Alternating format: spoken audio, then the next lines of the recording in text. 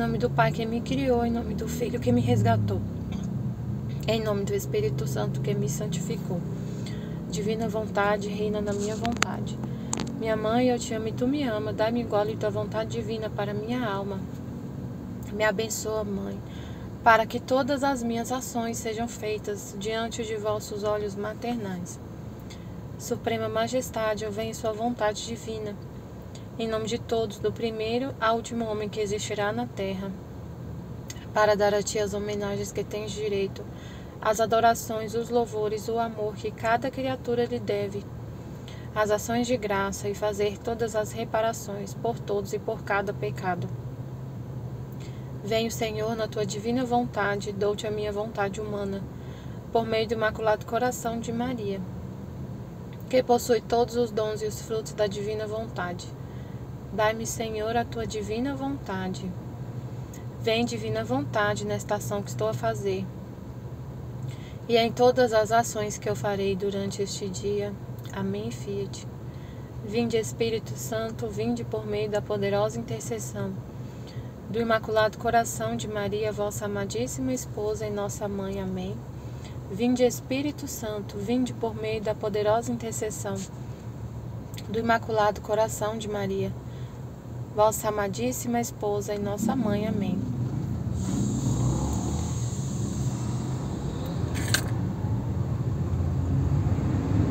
Então, nesse, nesse estudo da Escola da Divina Vontade, estudo 55, do, do, do volume 1 ao, ao 11, né, nesse trecho do volume 4, 68, a Luísa está a Luísa fala assim: Eu me senti aflita, né? Aflita. E, e, Jesus veio falar com ela, né? Que em tudo, em tudo quero que você se conforme a mim, se assemelhe a mim. Que seja respeitosa com todos, desapegada e seja respeitosa com todas, com todos que guarde tudo, todas as verdades, todas as verdades, esteja sempre com as verdades, as minhas verdades, os meus ensinamentos na mente, guarda tudo no coração, para quando você precisar, de acordo com as ocasiões, você praticar o que eu te ensinei, né? Aí é, que se coloque como a menor, né? Ele falou também seja sempre pequena, né? Menor em relação aos outros. E aí quando quando eu ouvi a, a, a Luísa falando que estava aflita, né? Eu lembrei do que Nossa Senhora falou ontem nos. Ela falou no 14 dia do. Da, da, dos 31 dias, né? No 14 dia. Minha filha, paz, desapego, coragem formam o vazio na alma, onde a divina vontade pode tomar seu lugar. Paz, desapego e coragem. Interessante, achei interessante porque quando a gente fala de formar o vazio, né? Formar o vazio. Para que formar o vazio? Para a divina vontade te encher, né? Para Deus, como se você fosse um vaso, né? Como Jesus falou. Um vaso. E esse vaso tem que estar tá vazio, um vaso. Um vaso, um local. E aí, quando a gente fala de formar o vazio, às vezes a gente não entende, né, o que é formar o vazio, né? E aí Nossa Senhora fala, o, a paz, o desapego e coragem formam o vazio para a divina vontade tomar seu lugar. Então, a divina vontade toma lugar numa alma que está em paz, desapegada de tudo e que tem coragem. Coragem para fazer tudo. Porque ela estava falando isso no dia esse 14 dia é o dia que ela tá indo para, para o templo e ela tinha três aninhos. Então ela tinha essa coragem, né? De. Ela era desapegada do, do, da família, de tudo, da casa dela, da família. Imagina, com três aninhos. Ela foi em paz, tranquila, e essa paz, ela, ela fez com que os pais dela ficassem mais tranquilos, né? Porque viu que ela estava tranquila. E a coragem de, de ir sem medo, de a coragem, né? O que, é que, que tem a ver a coragem? A coragem no sentido de confiar em Deus, de se abandonar, que é o que ela, o que a gente falou que ela nunca teve, né? Ela nunca teve desconfiança de Deus. Coragem tem a ver com confiança. Ela confiou plenamente em Deus, ela nunca desconfiou de Deus. Como a gente meditou, como a gente meditou esses, esses tempos, né, sobre a, a pureza de Nossa Senhora. Ela nunca teve desconfiança de Deus. Então a Luísa estava nesse, nesse estado, né, aflita. E aí a Nossa Senhora fala que então Aí Jesus vem falar para ele: Eu quero que em tudo seja semelhante a mim. Ele é a paz. E aí eu lembrei desse, desse 14 dia que a Nossa Senhora fala. Que a alma, a alma tem que formar esse vazio, que é ter paz, ser desapegada de tudo e coragem, confiar em Deus.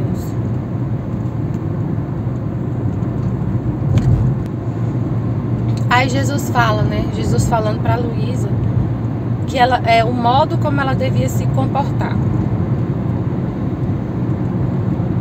Uma das coisas que ele, tudo, nossa, o que ele falou foi importantíssimo, né? Uma das coisas que ele falou, respeitar, respeitosa, ser respeitosa com todos, porque o respeito traz paz ao próximo e a si mesmo. E é tem a ver com o que a Nossa Senhora falou, né? Da paz Ser o, o, a alma onde reina a paz é uma alma onde tem um vazio que a divina vontade pode reinar. E aí, é, sobre isso, foi, foi falado bastante na aula sobre isso, como a gente ter esse respeito com as pessoas, né?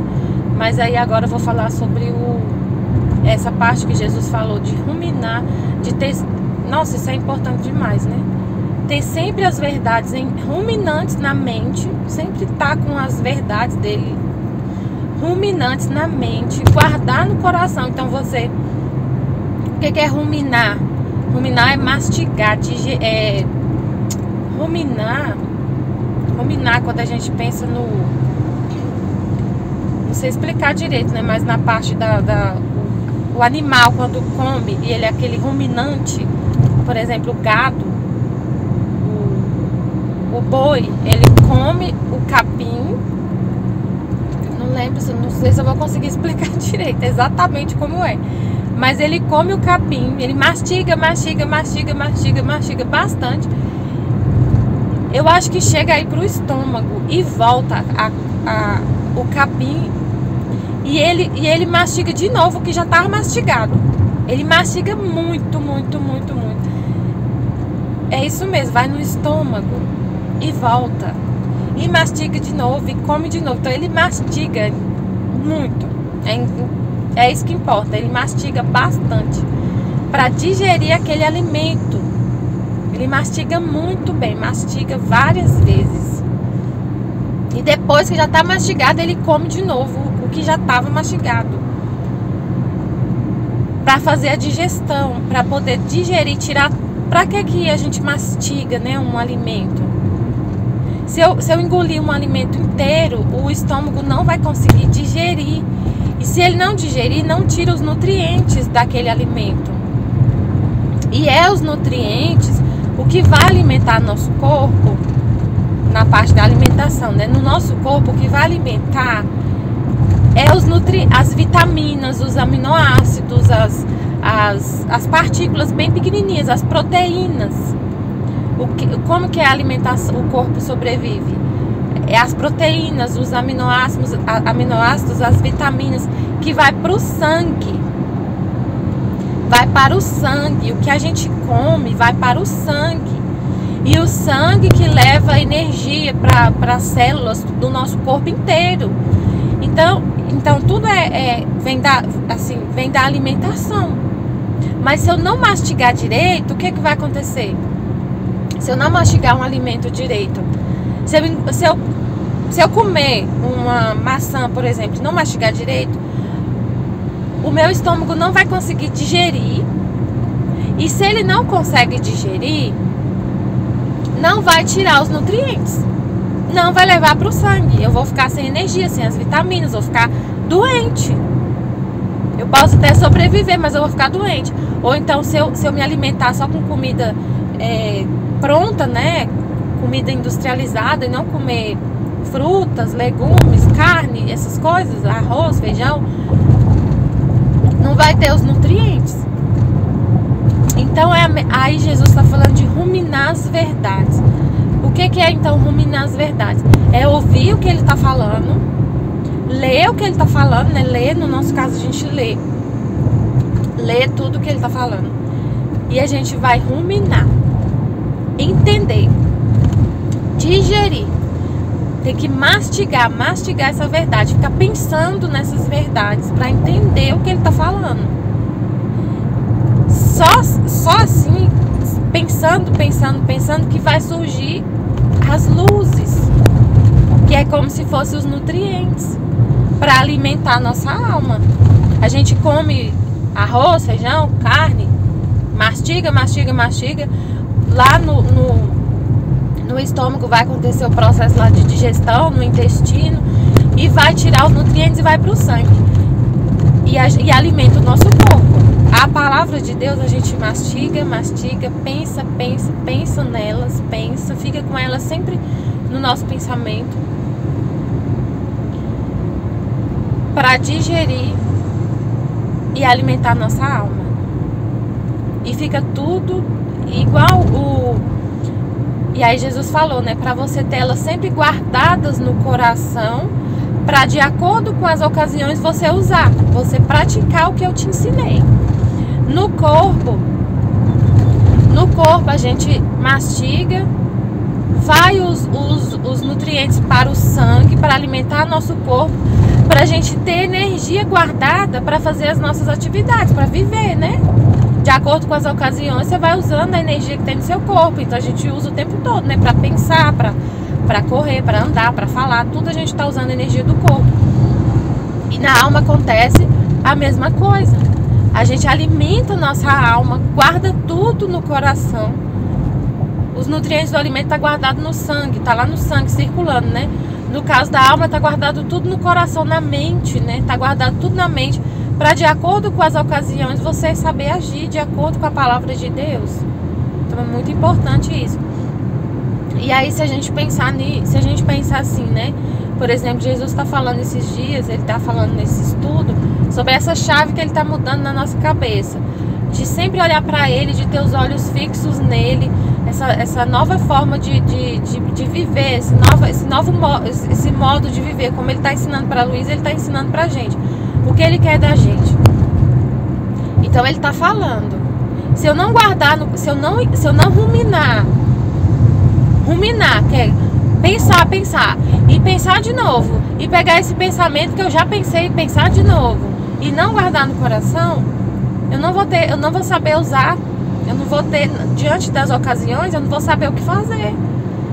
Por quê? Porque eu não, não alimentei, eu só, essa verdade, essa, essa palavra que ele, que ele falou, só ficou bruta lá no meu pensamento, eu não mastiguei, só, só passa por mim bruta, sabe? Igual, uma, é, igual você, se você pegar um pedaço de carne, esses dias meu esposo contou, que ele pegou, ele era criança, ele tava lá, lá no quintal comendo jabuticaba.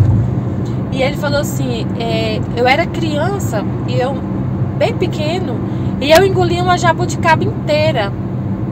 E eu fiquei muitos dias passando mal e depois essa jabuticaba saiu. Nas fezes saiu a jabuticaba inteira. Ele ficou passando mal. O corpo não conseguiu digerir aquela jabuticaba inteira. Então, quando a gente, quando a gente ouve uma verdade que Jesus falou, uma palavra que ele falou, um ensinamento que ele deu, e você não rumina, não mastiga, não pensa sobre isso, não tenta entender, é como se você comesse uma jabuticaba inteira e, e vai sair, não vai. Aquela jabuticaba não levou nenhum nutriente pro meu esposo, ficou, ficou fazendo ele passar mal. Até o corpo expulsar, expelir aquele, aquela, aquele, aquele, aquela fruta inteira. Ele não conseguiu digerir.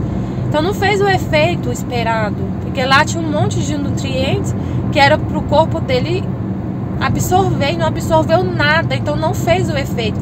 Então a verdade, a palavra é a mesma coisa. Se você, se ele fala e você só come inteiro e não pensa, ah, só passa, você só ouve, né, o que ele falou e aí passou.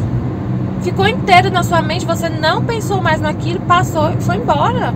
E não faz o efeito, você não absorve nada e não faz o efeito esperado. E na hora que acontecem as ocasiões, você não tem aquele, aquela energia. Igual o alimento que você come, na hora que você vai correr, você tem energia para correr. Por quê? Porque você comeu o alimento, digeriu e o seu corpo absorveu os nutrientes. Aí você tem o aí você tem a energia para poder correr. Agora a mesma coisa a palavra, você recebe ela no seu pensamento, digere, tira as luzes, alimenta sua alma e está lá guardado. Quando acontecer uma ocasião, você vai ter vai ter a luz lá para te guiar. Então Jesus está falando, ele está falando, né? eu quero que vocês vivam assim, só olhando para mim, só pensando em mim, vivendo para mim, amando o próximo em mim. Se você me amar, já está amando o próximo. Tudo que ele falou, tudo que ele falou, tem que guardar tudo. Então, na hora que você está diante de uma pessoa, do, do, de uma pessoa, numa ocasião, numa festa, no, no trabalho, em casa, você vai viver de acordo com o que ele falou, mas, é, mas você só vai conseguir viver de acordo com o que ele falou, você vai conseguir estar no meio das pessoas e olhar para ele, só olhar para ele ouvir ele, mesmo, mesmo perto de várias pessoas, você vai conseguir ouvir Deus e olhar só para ele, só ver Deus em tudo. Se você guardar a palavra dele, ruminar, digerir e, e tiver as luzes e guardar e essa luz alimentar sua alma e ficar guardada. Só assim você vai conseguir colocar em prática o que ele, o que ele falou. Senão você vai acabar de você acaba de ouvir o que ele falou na, no, na, na, no vídeo que a gente fez, na escola, no, no que você leu lá no grupo, você vai ouvir. E na hora que você está na ocasião, você vai continuar olhando para você.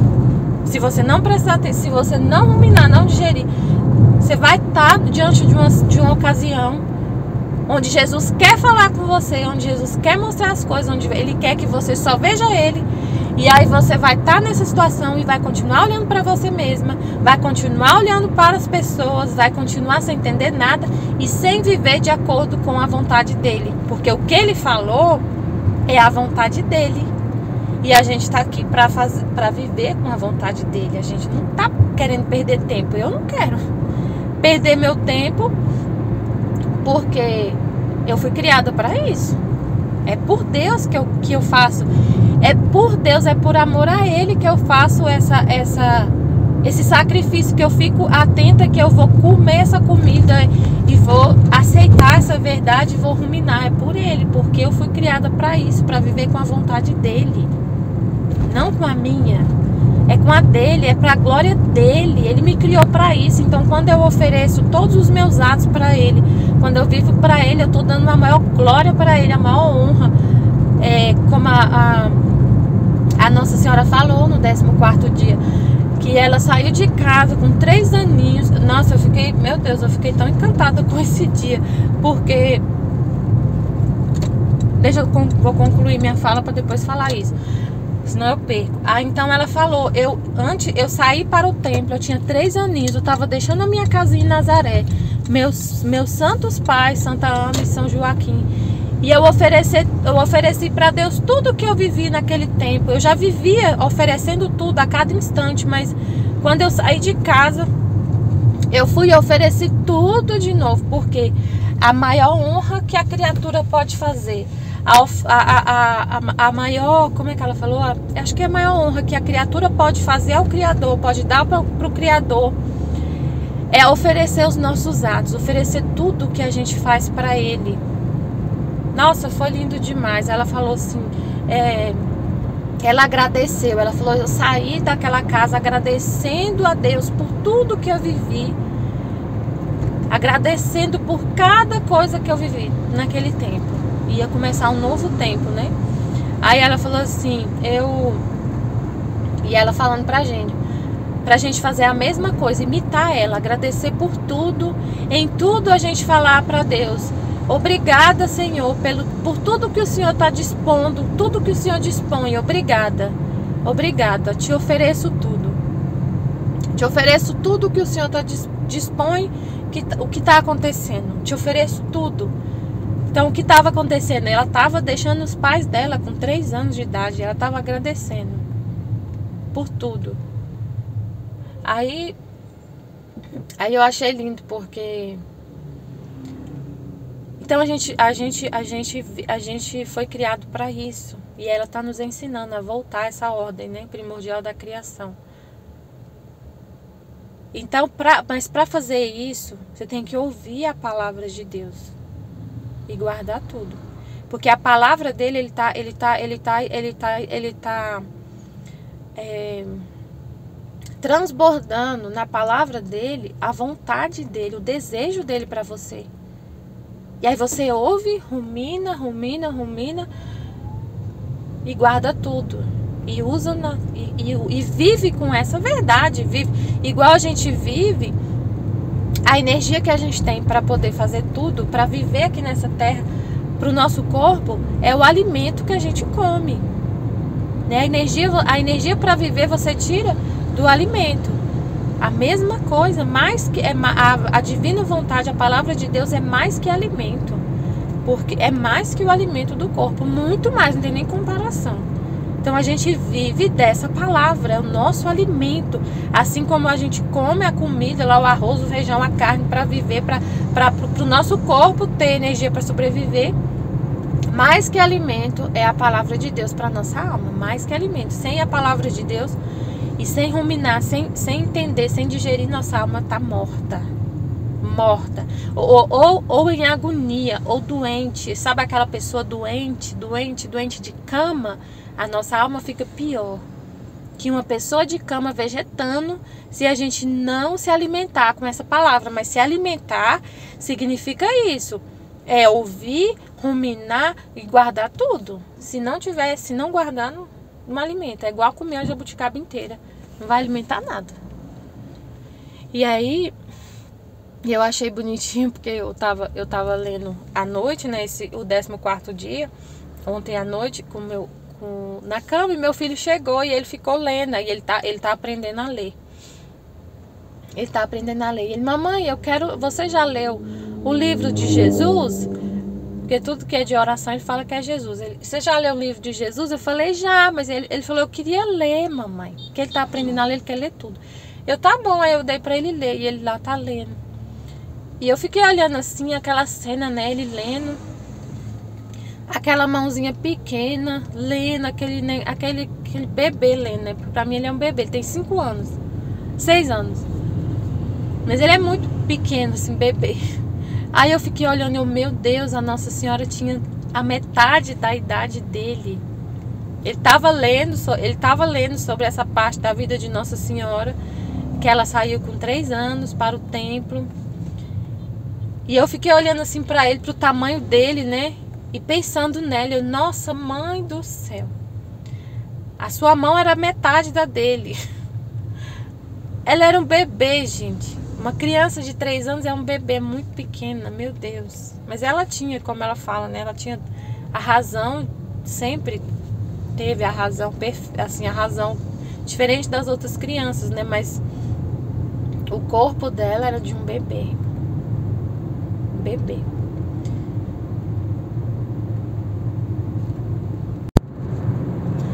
Nesse, nesse estudo da escola, da divina vontade, sobre esse trecho que Jesus fala que queria que a Luísa, né, fosse ela e todos nós, né, respeitosos, respeitar o próximo, respeitar a pessoa.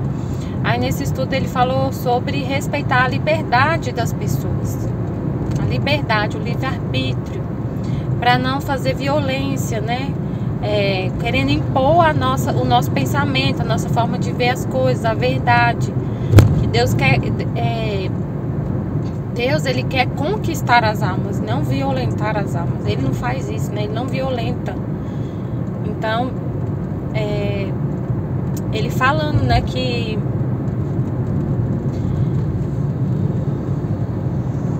sobre esse respeito de você, você sabe, você descobriu uma verdade, né, a verdade, o caminho para você descobriu, você, você, tem, você tem nas suas mãos o caminho para retornar à ordem primordial da criação. Você tem um, um tesouro, uma verdade que é um tesouro, que é tudo, tudo, tudo, tudo. E a gente tem uma, a, no início, assim, né? A gente tem uma ânsia, uma vontade de que, de levar isso para as pessoas, querer que todos vivam o que a gente está vivendo, que a gente descobriu nossa, uau, eu descobri o caminho da felicidade, né? Eu descobri o caminho incrível, maravilhoso. É, eu descobri a nossa missão, descobri, meu Deus, caminho para todos retornar à felicidade, a viver o Éden, né? Então, a gente tende a querer levar isso para o outro, só que com impondo, né? E Deus não é assim, ele respeita a liberdade. Então ele falou sobre isso pra gente, principalmente, inclusive com as pessoas da nossa família. Porque ainda mais os da nossa família, a gente se sente responsável por eles. Responsável de levar essa pessoa para o céu, de levar essa pessoa para o caminho de santidade. Ainda mais quando a gente vê que a pessoa ou tá. Ou a pessoa tá nas trevas mesmo, na, assim, né? Perdido não, que a pessoa tá é, longe de Deus, totalmente afastada de Deus, na, na, na escuridão mesmo, ou a pessoa tá na santidade humana. A gente fica, nossa, eu tenho que falar para ela que existe a santidade divina, só que não é assim, né? A gente não pode querer que a pessoa ouça e a gente querer, ai, assim, né? Tipo, ai, vamos fazer a consagração, vamos fazer junto e você ficar insistindo, né? E, e tudo que a pessoa fala, você corrigir. Se ela estiver falando alguma coisa que tá errada, assim, né? Tipo assim. Sei lá, qualquer coisa que você ouvir, aí você já querer corrigir, querer salvar a pessoa dos pensamentos dela, né? Do, do que ela pensa. E não é assim. Aí. Isso não quer dizer, aí a Aline estava explicando, né? Isso não quer dizer que em relação à nossa, à nossa família, por exemplo, nós como mães, ainda mais se é uma, uma criança, né? Uma adolescente, uma criança, não é que a gente vai deixar de falar, de orientar, de, de, de instruir a criança, não é isso. No seu dever de mãe, no seu papel de mãe, você vai continuar instruindo e orientando, mas você não vai impor que a pessoa viva na santidade divina, assim, tipo, ah, eu descobri uma forma de de retornar à ordem primordial da criação, de viver a santidade divina, com a vontade divina. Então você tem que viver isso. Você vai ler todos os dias, marcar horário, tipo assim, né? Todo dia a gente vai ler o livro do céu junto, vamos fazer a consagração junto. Então não é isso que, que, que Deus quer. Ele vai chamar, ele vai. Tudo. Aí hoje eu tava lendo um trecho do livro do céu. Hoje a gente conversando lá no grupo, aí eu, eu li, eu Jesus falando, né, que o que a gente o que a gente quer que uma alma, o que a gente quer conversar com uma, o que a gente conversa com Jesus sobre uma alma, o que ela tem que ouvir, se a gente conversa com Jesus, ele leva através de orvalho benéfico essa, essa informação, essa, essa luz para aquela alma que está precisando. Então, é, aí eu fiquei pensando, né? Eu falei, nossa, incrível isso, né? A gente vive, a gente vive, tudo que a gente vive, né? Aí eu fiquei pensando, tudo que a gente fala com Jesus, tudo que a gente pensa, igual ele falou, né? Tudo que você, que uma alma precisa ouvir, você falar comigo, eu levo para ela, de alguma forma ela vai ter essa informação. Aí eu fiquei pensando, né? Eu falei, nossa, tudo que a gente vive então com o Senhor, tudo que a gente vive, todos os atos que a divina vontade faz na nossa, na nossa alma, tudo que a divina vontade faz em nossos atos,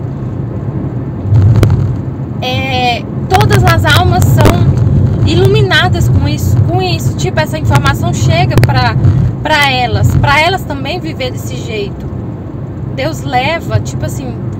Aí quando eu tava, quando eu tava lendo quando eu tava lendo o eu tava ouvindo o vídeo do da igreja, o retiro da igreja parte 4, aí o, o, o texto, o, o trecho do livro do céu que estava sendo lido, estava falando justamente sobre isso. Jesus falando que todos os atos que a divina vontade faz numa criatura, numa vontade humana, que o amor de Deus por esses atos é tão grande que ele quer que todos saibam, ele quer levar a todas as criaturas de forma que todas po possam falar: esse ato é meu. Tudo que a divina vontade fez numa criatura, através de uma criatura, por exemplo, é uma adoração que você faz a Deus na divina vontade, com a vontade divina, não é você que está fazendo, é a divina vontade em você. E esse ato, ele é de toda a humanidade. Deus, Deus doa ele para todos. Então ele leva. Ele quer que todos saibam e quando ele quer acontece. A pessoa, aí você fala, ah, mas ninguém tá, tá sendo beneficiado com isso, ninguém tá sabendo. Só depende da liberdade da pessoa, como ele fala, ele respeita a liberdade da pessoa. A informação tá aí para todos que quiserem, todos que estiverem com os olhos para o céu, com os ouvidos abertos, querendo ouvir a voz de Deus, querendo ouvir, eles vão ouvir, vão entender. Tá aí disponível, só não tá para quem não quer, porque Deus não tira a liberdade de ninguém, como ele tá falando. Seja respeitosa. Eu quero que você, ele falou com a Luísa, eu quero que em tudo você se assemelhe a mim. Eu respeito a liberdade das pessoas. E você também tem que respeitar a liberdade das pessoas. E aí ele ele leva essa informação, mas sem violência. Quem quer vai receber a informação desse ato, dessa adoração e vai também querer, tipo assim, vai ser iluminado para viver dessa forma. Você vive, você vive na divina vontade em nome de todos e Deus leva essa informação de alguma forma para as mentes das pessoas através do Espírito Santo. E aí aí eu tava pensando, né? Eu falei, ah, então é, a gente quer que as pessoas entendam, né? A gente tem esse desejo que as pessoas saibam disso, saibam que, que chegue na, no ouvido delas essa informação. A gente quer isso. E Deus também quer. Mas Ele quer, Ele leva sem tirar a liberdade delas. A, nós, se a gente colocar nossa vontade humana, é isso que acontece. Quando a gente quer, mas a gente quer levar com a nossa vontade humana, a gente vai fazer de um jeito que não desrespeitoso, que vai que vai violentar, entendeu? Então, Deus é que leva. Ele é que leva. Sem violência. Ele falou que os atos, ele falou nesse nesse nesse nesse trecho que ele leva até no ar que a pessoa está respirando. Ele falou assim: "Eu coloco no ar, eu coloco todo lugar esse ato". Então você faz uma adoração, por exemplo uma adoração a Deus. Um pensamento que passa na sua mente, um pensamento, por exemplo, de. É, e é tudo divina vontade, a divina vontade pensando na sua mente. E aí, por exemplo, você está pensando, é, meditando. Esses dias a gente tem falado muito sobre a, a Nossa Senhora, a nossa mãe. Aí então você está pensando na criação de, da alma de Maria, em tudo que Deus fez nela em todo o amor né, que Ele colocou nela.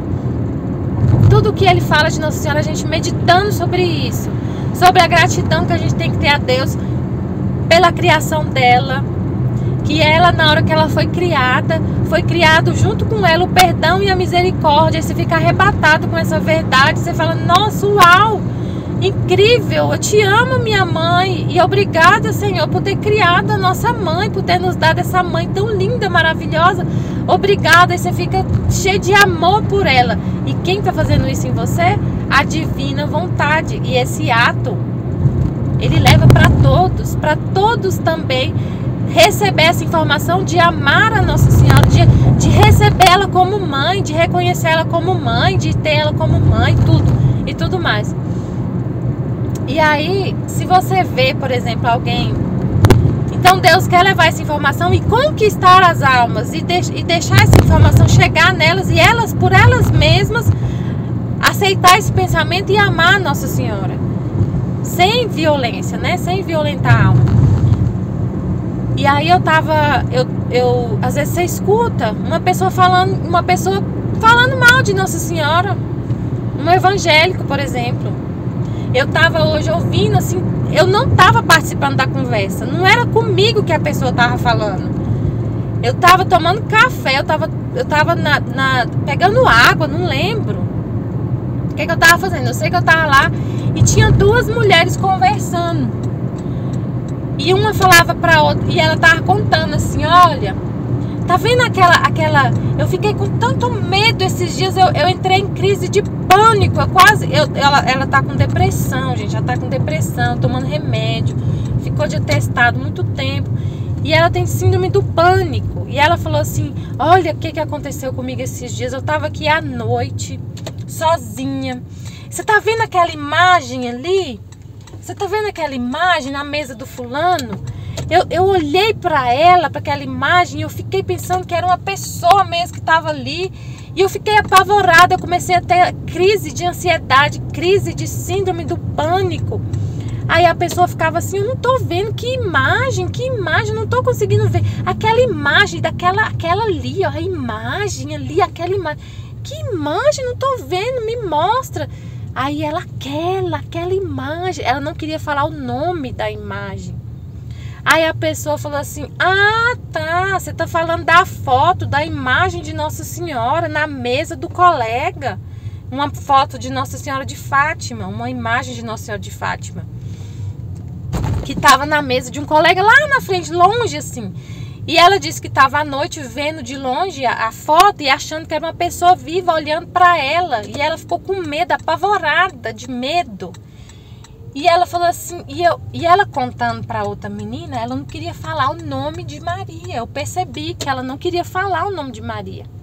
Deus colocou no meu coração assim, ela não quer falar o nome da minha mãe. Ela fica, a imagem, a imagem, ficava apontando. Aí a outra, a outra é católica, a outra falou: "Ah, Maria, Nossa Senhora". Entendi. Entendi o que você tá falando. Nossa, que coisa. E eu não tava no meio da conversa. Você acha que eu fiquei só assim, Senhor? Eu fiquei assim, ô oh, mãe, eu te amo. Eu só fiquei assim, mãe, eu te amo em nome dela. Eu te amo por ela, eu reconheço a senhora como mãe. Glória ao Pai, ao Filho e ao Espírito Santo pela criação da senhora, por ter dado a senhora como mãe. Eu, eu reconheço a sua maternidade. Em nome dela e em nome de todos que não reconhecem. E essa oração veio assim espontânea no meu coração, que Deus é que, que faz. E aí, então, aí eu entendi, eu falei assim: ah, entendi esse ato. Então, assim, eu não precisei, se eu fosse, se eu fosse agir com a minha vontade humana, antigamente, se eu fosse agir com a minha vontade humana, eu ia ser violenta. Eu ia usar de violência e falar assim: nossa, mas você é tão ridícula. Isso, ela é a nossa mãe, ela é Maria, nossa mãe, a Virgem Maria, mãe de Deus. Você tem que. O que, que tem se falar o nome dela? Você está aí apontando porque você não quer falar o nome dela. Ela é virgem, ela ia, ia começar, ia, ali ia começar uma discussão, ia começar uma, uma intriga. Ela ia ficar chateada comigo porque ela não, eles não aceitam e assim. Aí o que, que Deus respeita? O que, que Deus respeita? Tudo que ela aprendeu. Deus respeita o que está na alma dela. Ela, ela pode, pode ser, eu não conheço a história dela, mas pode ser que ela seja uma, uma evangélica desde que nasceu. E ela recebeu essa informação desde criança. Então, como que eu vou impor para ela, numa conversa ali de, de, de cafezinho, que ela entenda o que eu entendo de Nossa Senhora? Como que vai acontecer isso? Ah, mas Deus é poderoso, Ele pode fazer um milagre e, e, a palavra dele é criativa, tem que criar na alma dela essa verdade, assim como um passe de mágica. Ia ser como um passe de mágica?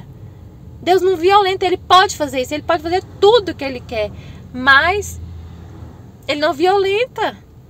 Essa essa adoração que eu essa esse reconhecimento, esse amor por Nossa Senhora, quem fez em mim foi a divina vontade. Então ele espalha isso no ar, no, em todo lugar. Chega no céu, chega no purgatório e chega na terra. Ele falou: eu, eu levo para todos esse ato. Todos, todos recebem. Então você fica. Se, mas aí então, Michelle, você sempre vai ouvir as coisas não vai falar nada com ninguém, você vai ficar muda diante de tudo. Não, na hora que Deus quiser falar, ele fala. Do jeito que ele quiser falar, na hora que ele quiser falar, com quem ele quiser falar, as palavras que ele quiser falar. A gente deixa ele livre. Mas nesse caso, ela nem estava falando comigo. Então eu fiquei só ouvindo eu ouvi, entendi, eu fiquei em silêncio, eu estava em silêncio. Eu não estava distraída, como eu, eu, eu falei no vídeo da escolinha, né? Que eu estava. Eu usei essa palavra distraída, mas na verdade Jesus me corrigiu. Ele falou assim: não é para falar distraída, porque a, a, essa palavra distraída não é, não é o que Jesus quer, não é a vontade dele que a gente fique distraídos, não. É que a gente fique em silêncio para ouvir ele. Então, na verdade, o que eu tava era em silêncio. Eu tava em silêncio para ouvir o que Deus queria falar. Eu tava em silêncio. Então ele falou isso, ele, ele fez eu entender que ela não quis falar o nome da, da Nossa Senhora, de Maria. E aí, aí eu só tive essa, essa, essa.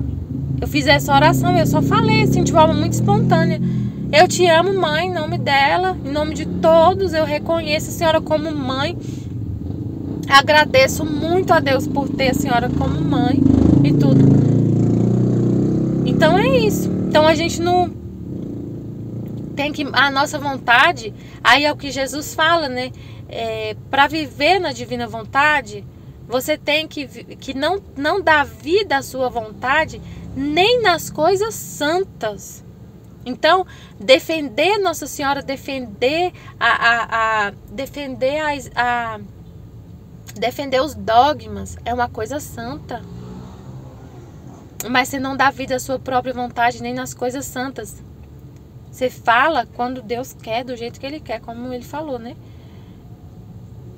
Então é isso. Ser respeitoso sobre isso, né? Eu entendi sobre essa parte que Jesus está falando na, na escola, sobre liberdade sobre respeitar a liberdade das pessoas. Então agora ele vai falar sobre. Ele falou também nessa parte que eu ouvi sobre a questão da liberdade, né? Que o que a, Aline estava contando, né? Que tem, tinha um podcast de um neurologista falando que na verdade a liberdade não existe, que ela não existe, que é uma tipo uma ilusão, que a gente não é livre. E aí Jesus falou, é difícil, realmente, eu não posso falar que ele está errado. É, realmente, depois do pecado, o ser humano não é livre, verdadeiramente livre, por quê? E que é uma coisa complexa da gente dele explicar pra gente, da gente entender, mas o que eu entendi foi que o que eu entendi é que a gente é, é escravo da vontade humana. A vontade humana se a gente vive com a nossa própria vontade, longe de Deus, a liberdade então só existe em Deus. Só existe em Deus. Porque se a gente sai da, da, da união com Deus, da, da união com a vontade de Deus, você fica escravo das suas paixões, escravos de, escravo dos sentidos, escravo de sensações. Então, uma pessoa, por exemplo, que, que é viciada em droga, ela não é livre. Ela é escrava do vício, escrava, o corpo dela tá, ela tá, ela tá com a dependência química, uma dependência química, uma dependência de uma substância. O corpo dela pede, ela não consegue se dominar. Ela perde o domínio. A pessoa perde o domínio se ela não tem a vontade de Deus reinando, se não se, é, se acontece essa ruptura entre a vontade humana e a vontade divina, o homem torna-se escravo de paixões, de vícios, de sensações, de hormônios do corpo, da carne, não consegue se dominar. Ele quer, por exemplo, uma pessoa tem consciência que o vício, que a bebida faz mal, ela tem consciência, a inteligência dela mostra que, a, que a, o vício da bebida está deixando ela totalmente. Está trazendo muitas consequências de doença, de tudo, mas ela não consegue sair daquele vício, não consegue parar. Ela é livre? Não é. Ela usa droga, sabe que aquilo faz mal, tem consciência, ela consegue parar? Não consegue. Ela é livre? Não é. Uma pessoa que é viciada em cigarro. Tem, inclusive tem na caixinha do cigarro uma foto horrível de uma pessoa com câncer de pulmão, de um pulmão preto, cinza, falando assim, esse é, o, o cigarro causa câncer. Uma mão toda cheia de, de preta, horrível. Uma criança abortada, uma foto de uma criança abortada na caixinha de cigarro. E mesmo assim a pessoa fuma porque ela é escrava da nicotina. Então ela é livre? Não é. Não é. Nós somos livres, verdadeiramente livres, só quando, a, quando a, tá, a nossa vontade está unida com a de Deus, porque ele é, ele é. Aí a gente é a imagem e semelhança dele. Ele é livre. Nós somos, se a gente rompe com ele, com a vontade dele, somos escravos. Então, Jesus continua falando sobre essa questão da liberdade, né? Que, que na verdade não somos livres, né? Somos escravos da nossa vontade humana, dos vícios. E aí ele vai, ele vai falar no, na, no próximo vídeo que eu vou fazer, a próxima meditação, falar sobre uma coisa incrível que ele explicou sobre o que a doutrina dele faz.